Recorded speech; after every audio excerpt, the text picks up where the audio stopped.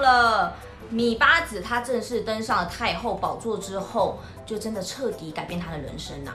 那那时候他其实也没有想要沿用秦国重用客卿制的传统，因为她是楚国的女儿啊，其实也没有必要。那你要对外面的好，不对自己的家人好，就开始大肆封赏自己的弟弟魏冉，还有其他的儿子们。他这时候没有被重用到一些臣子啊，譬如说像是范雎，他就会跑去跟秦昭襄王讲说：“哎，皇上。”怎么天下人都好像只知道拥有权力的是你的妈妈你八子跟秦国四贵呢？那你就这样子如坐针毡，什么都不管吗？那这是皇上一听了，哦，很有道理，心动不如行动。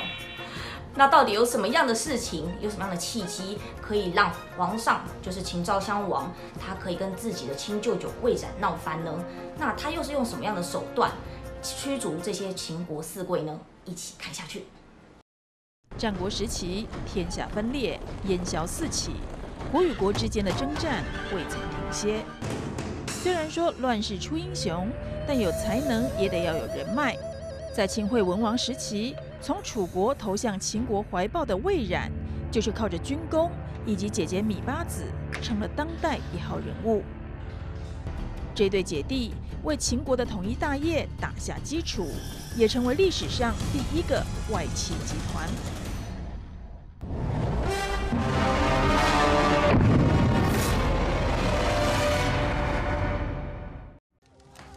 小兵做起的魏冉，不管是上战场厮杀，还是刺探敌情，都立下无数汗马功劳。在军营中，他与白起结为生死之交。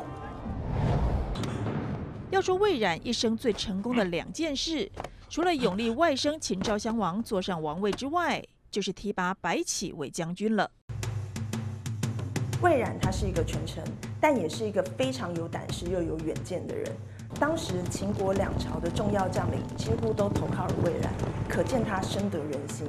之后的魏冉，他又提拔了秦国的战神白起。魏冉他长期主持秦国的军事，战功伴随着荣誉而来，至此名声远播，也收获了非常的尊贵的地位。秦昭襄王继位后，魏冉成为大权在握的国舅，获得无数赏赐，被称为秦国四贵之首。秦国四贵都跟宣太后有关，分别是宣太后的弟弟穰侯魏冉、华阳君李荣，以及两个儿子晋阳君嬴福，还有高陵君嬴亏。有钱有权，富贵逼人，这时的魏冉倾全国之力，大杀四方，迅速扩张秦国领土，靠的就是世人之才，重用了白起。司马迁呢，对这个魏冉就有非常高度的评价。他说：“秦国能够向东扩张，削弱诸侯，还曾经一度称帝，这属于穰侯的功劳最大。”随着嬴稷一天天长大，面对太后听政、国舅揽权，难免愤愤不平。尤其魏冉掌了军权后，还觊觎相国之位，难免让秦昭襄王有怨言。秦昭王的不满之心日益高涨，为了制衡魏冉。他延揽齐国的孟尝君田文为相，没想到他出尔反尔，引得田文怀恨在心。逃离秦国后，就说服齐王联合韩魏两国攻伐秦国。这场函谷关之战打了三年，秦国国力不支，被逼得退入关内据守，割地求和。在此一战中，秦国战败求和。追根究底是嬴稷得罪田文所致，但多亏魏冉、米荣、嬴福、嬴亏等四贵，有的战前搏杀，有的出使各国，临危受命收拾残局。其中以穰侯魏冉的攻击是最大的，也是从他从武将转变为权臣之后开始。自此之后，他戍守咸阳，四次任相，封为穰侯。函谷关之战两年后，秦国重新征募士兵、训练军队，开始了向韩国、魏国的复仇之战。秦国运用避实击虚、先弱后强的兵法，打得韩魏两国措手不及。这时的魏冉，外有白起压阵，内有太后撑腰，声势如日中天。司马迁在《史记》中形容然侯之父富于王室，但没想到魏冉还不满足。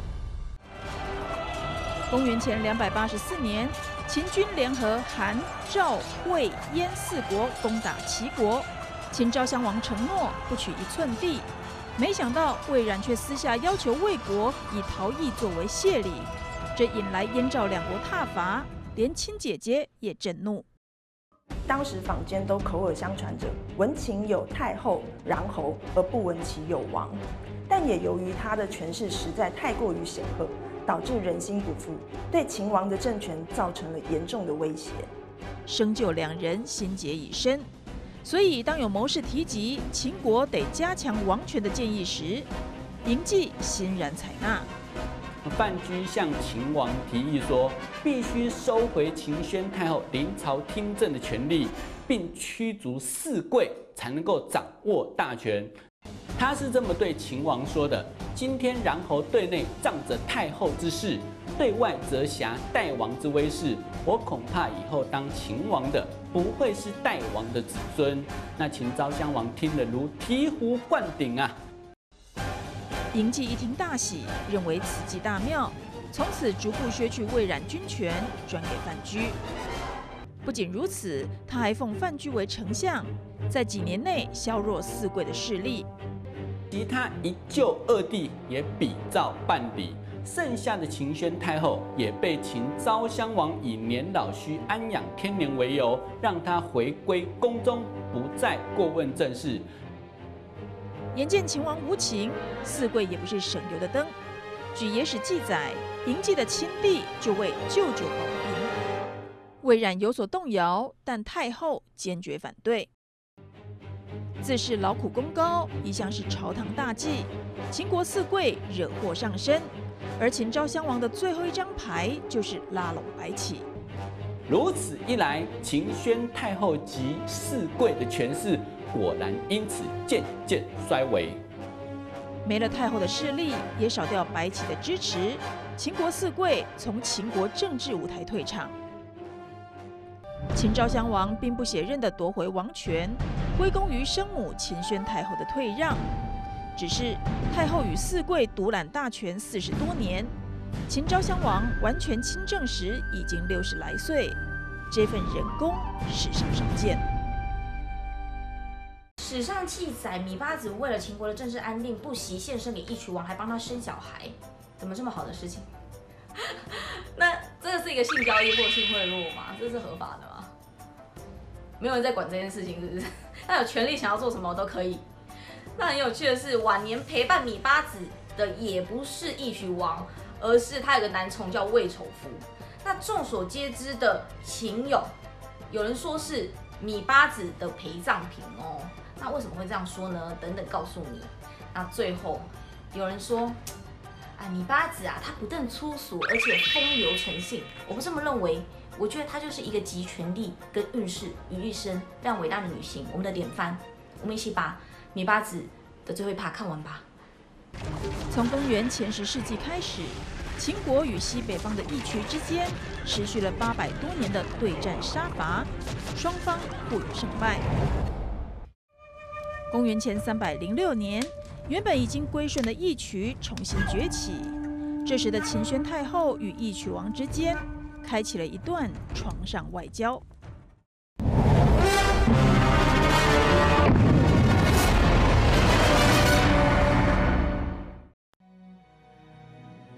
历史剧中，芈八子与义渠王相识甚早，但事实上，两个人是在秦昭襄王登基大典时初次会面。义渠王不仅对秦国虎视眈眈，而且明目张胆地侵扰他的边界，蚕食这一些国土。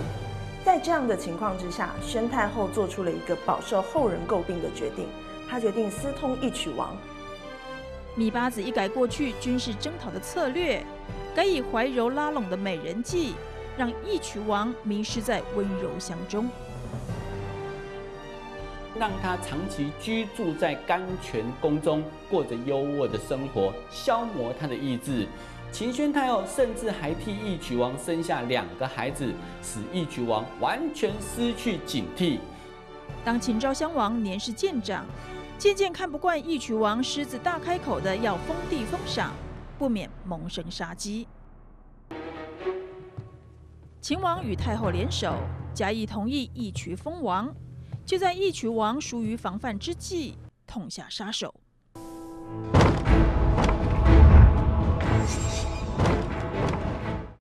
三十四年后，秦宣太后见时机成熟，找了个机会在甘泉宫杀了义渠王，还发兵攻打义渠，义渠国不敌，领土并入秦国。《史记·匈奴传》记载，宣太后诈而杀义渠荣王于甘泉。究竟芈八子对义渠王是真爱还是利用？后世史学家始终没有定论。但可以肯定的是，他在寡居的几十年间，不止跟义渠王发生感情。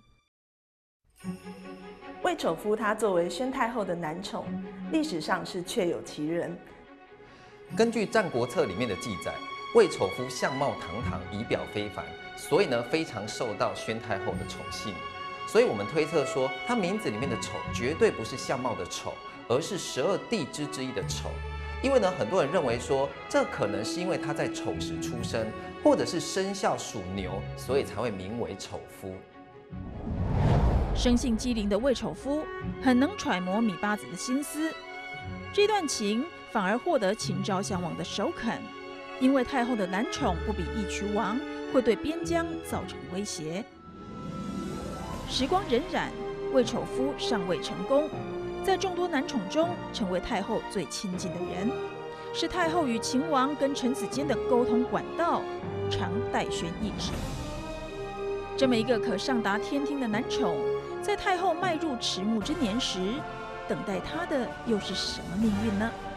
宣太后非常宠爱这位魏丑夫，甚至连他死后都想要继续享受魏丑夫的服饰。据说，在宣太后生病即将去世的时候。还传令让魏丑夫为自己殉葬。当时大臣雍瑞听了对太后说：“听说您要让魏公子为您殉葬，如果人死后没有灵魂，那魏公子如何与您相伴？如果死后真有灵魂，太后跟魏公子相伴，又将如何面对先王呢？”从殉葬到逃过一劫。史料上对于魏丑夫的后半辈子没有其他记载，导致宣太后的陵墓让后世多了很多想象。一九七四年，秦代兵马俑坑在陕西骊山一带出土，被称为世界八大奇景之一。原本都被认为是秦始皇的陵墓，但却有考古学家发现，部分秦俑书有楚人特有的歪迹。鲜艳的服装更是楚服的特色。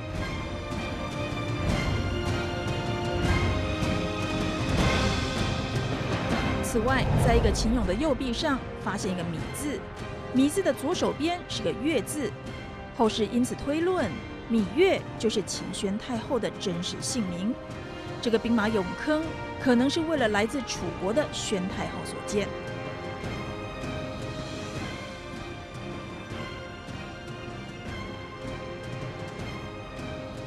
芈八子在秦国当政四十多年，势力之大，绝对有资格修建豪华大墓。神秘又缤纷的兵马俑，更让数千年后的人们开始想象，热情奔放的宣太后该是怎么样的风华绝代。